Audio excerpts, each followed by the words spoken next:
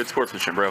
Good sportsmanship. Oh, I don't have good sportsmanship. Have you seen this wild bluff against Eric Persson? We're playing 400, 800, 1600. Mr. Dr. Batman raises it up in the hijack with pocket queens. Eric Persson opts to call the cutoff with ace 10 offsuit. Ben calls the button with ace 5 of spades, and Kennedy calls with king jack offsuit in the straddle. The flop comes ace 10 8. Two hearts. Mr. Dr. Batman bets 15,000 with pocket queens. All right, a little bit loose.